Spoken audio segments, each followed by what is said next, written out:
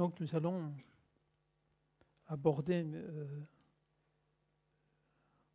le thème sur euh, la paix intérieure. Et euh, comme le thème de la conférence, je parle des secrets que, que je vais énumérer un petit peu, qu'on va regarder, qui sont au nombre de 10. Alors évidemment, ce ne sont que des, des, points, des points qui ne sont que des points de bon sens. Et je les appelle les secrets dans le, avec le jeu de mots un peu secret. Cela se crée. Euh, la paix intérieure, euh, c'est tout le monde aspire à la paix intérieure. On est tout le temps avec ce sentiment d'être en agitation, euh, en combat, en lutte, et malgré une volonté sincère et légitime d'être en paix, nous n'arrivons jamais à la trouver véritablement. Pourtant, c'est quand même très étonnant parce que la paix, réellement, c'est ce que nous sommes. On en fait l'expérience euh, dans le sommeil notamment. Quand on est dans le sommeil paradoxal, dans le sommeil sans rêve, nous sommes dans une paix totale. Cette paix est tellement profonde qu'il n'y a même pas d'observateur pour l'observer. Euh, c'est un moment où euh, il n'y a pas d'observateur, il n'y a pas de témoin, il n'y a rien. Le rien, quand j'emploie ce mot-là, n'est pas une absence de quelque chose. Euh, au niveau du mental, quand on va dire qu'il n'y a rien, c'est, je, suis en train de nommer, je n'observe rien, je ne vois rien, je ne sens rien. Donc il y a une espèce de néant. Mais au niveau euh, de notre présence, je suis intérieur, le rien, c'est le tout. Le rien, c'est le tout en potentiel de création. Ce qui veut dire que dans cet espace de vacuité qu'on peut dire au niveau du sommeil, euh, le corps, les cellules, tout, toute euh, notre vibration s'imprègne malgré tout de cette absence. Et en fait, dans nos vies, on recherche en permanence cet espace qui nous est inconnu et qui est à la fois connu malgré tout. Quand on dit à quelqu'un fiche-moi la paix, qu'est-ce qu'on lui demande? Euh, je, ne veux rien recevoir. Je veux être dans ma tranquillité intérieure.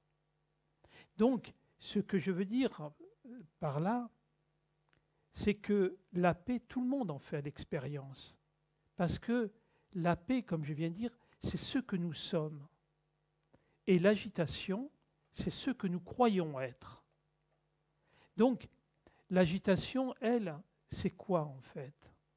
Euh, Toute notre agitation, elle est construite par une, entité ou une identité personnelle qui est le jeu personnel ou qui est le moi individuel qui est constitué uniquement au travers et par les blessures existentielles. C'est-à-dire qu'il se construit euh, une identité basée sur la mémoire, sur les conditionnements, sur les expériences, et toutes ces interactions euh, me font réagir, me font euh, avoir tel ou tel comportement. Si quelqu'un euh, s'adresse à moi d'une manière agressive, je vais, réagir euh, d'une manière personnelle, d'une manière ou d'une autre.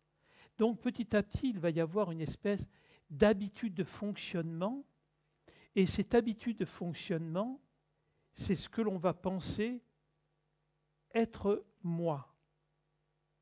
Mais en fait, ce n'est qu'un habillage, c'est-à-dire que toutes ces interactions, toutes ces réactions qui sont basées à partir des blessures, des conditionnements, de notre éducation ou de nos liens transgénérationnels, euh, donne cette, cette pseudo-personnalité. Et cette pseudo-personnalité voudrait être en paix, mais elle ne peut pas connaître la paix. Ce n'est pas sa nature. C'est-à-dire que le jeu personnel n'est pas fait pour être en paix, il est fait pour être en action, il est fait pour agir, il est fait pour interagir, trouver des solutions, être dans la survie, dans la créativité, dans l'expérience. C'est-à-dire que cette personnalité, ce jeu personnel, c'est le véhicule qui va nous permettre de vivre véritablement une histoire humaine, de vivre euh, une histoire où on va pouvoir, euh, en tant que conscience, se connaître et se reconnaître dans euh, l'histoire humaine. Donc, pour aller vers cette paix, il va falloir effectivement démystifier ce que nous sommes dans un premier temps et aussi ce que nous ne sommes pas. Et tant que nous n'allons pas démystifier et désidentifier les croyances euh, fictives de qui on est, on ne peut pas trouver la paix. Donc, c'est pour ça que euh, j'ai mis un petit peu en place dix points qui vont euh, permettre réellement non pas de se transformer, mais de changer son regard sur la vie, changer le regard sur soi, et effectivement pouvoir cesser ce combat entre ce que nous sommes véritablement, c'est-à-dire en tant que pure lumière, et ce que nous sommes en tant qu'incarnés. Et c'est deux réalités de nous-mêmes qui euh, ont pour but de ne devenir qu'une. Pour l'instant, dans l'actualité, ils créent en permanence ce combat permanent l'un contre l'autre. Il y a le jeu personnel qui est, lui, dans une volonté de satisfaction, et il ne peut connaître la paix que lorsqu'il a la satisfaction de ses intentions, de ses désirs, de ses vouloirs, tandis que le je suis, c'est-à-dire ce jeu impersonnel, la vie qui nous anime, elle, euh, elle est la paix, sans action, dans une immobilité, et donc, il faut que ces deux paix, si on peut dire, puissent cohabiter. Donc, il faut d'abord arriver à mettre en paix, je dirais, le jeu personnel, dans l'action avec les autres, dans notre regard sur la vie, euh, quitter ce combat permanent avec cette volonté que les événements, les gens, les choses euh, soient conformes à ce que je voudrais, je dois arriver à, renoncer à ma propre volonté. Pour qu'une fois que le jeu personnel puisse se mettre en quiétude, la paix peut surgir par l'intérieur. Euh, je suis clair dans tout ce que tout, le monde m'a suivi? Voyez? Donc, euh, dans le propos et dans les étapes qu'on va regarder, dans ces dix étapes, on va surtout regarder d'abord le jeu personnel, parce que c'est avec ça qu'on vit, c'est notre expérience quotidienne, c'est notre manière d'interagir avec les autres, d'observer qu'est-ce qui me met en colère, pourquoi cette colère, pourquoi je veux avoir raison, pourquoi je suis euh, si facilement dans le jugement? Parce que euh, quand on regarde nos vies quotidiennes d'une manière très factuelle. Regardez votre journée, vous vous levez le matin, euh, vous déjeunez, vous vous lavez, ou vous vous lavez, vous déjeunez, ça dépend. Ceux qui sont créatifs et qui veulent être euh, vivre comme des rebelles. Euh, ah, après, généralement, on va travailler ou on est dans une activité, on mange, on passe l'après-midi, puis le soir de nouveau on mange, on fait quelques activités et on va se coucher. C'est la vie de tout le monde, ça.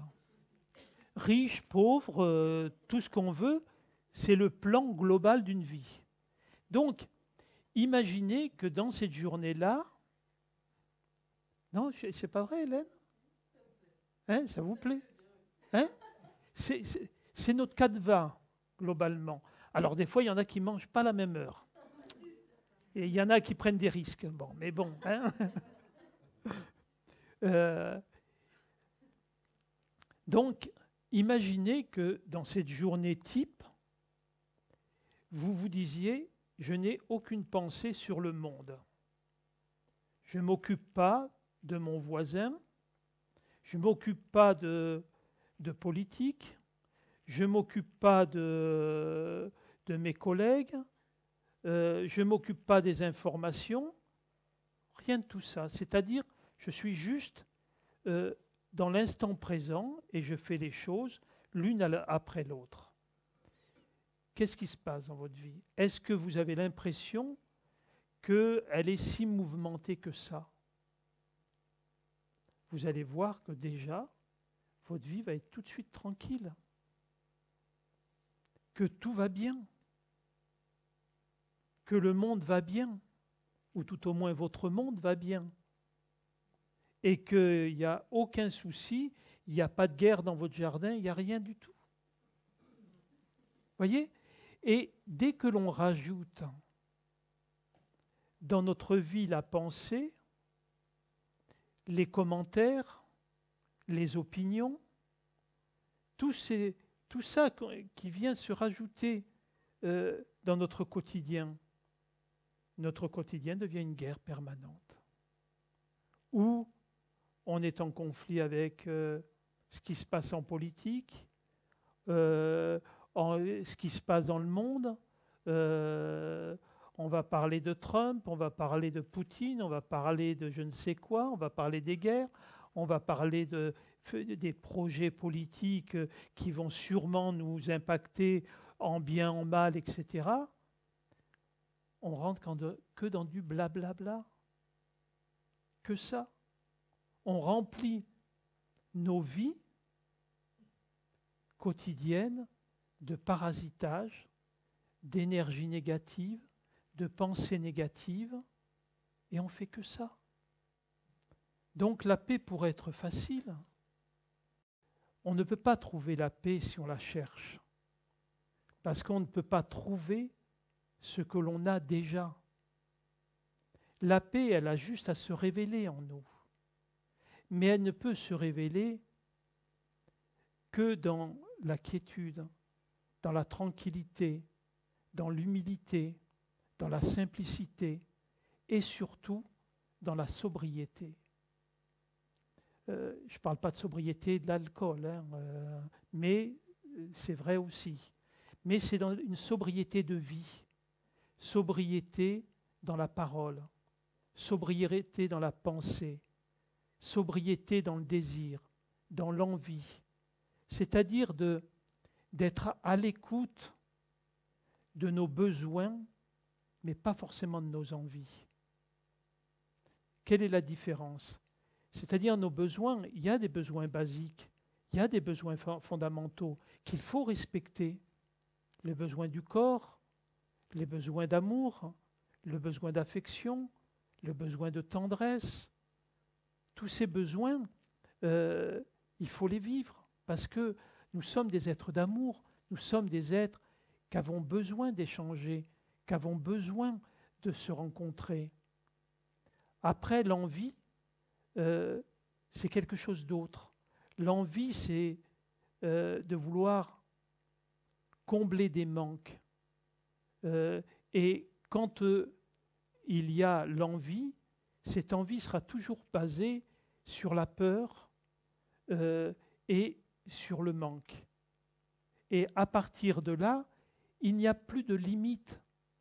Quand euh, on se met au niveau du manque, on va devenir prisonnier du manque. Et le manque, on ne peut pas le combler parce que le manque, c'est un, un, vide intérieur. C'est un vide de nous-mêmes. C'est un vide d'amour. Et donc, c'est incomblable. C'est comme une personne qui souffre de la maladie de la boulimie. Euh, elle peut manger, manger, manger. Elle ne se remplit jamais.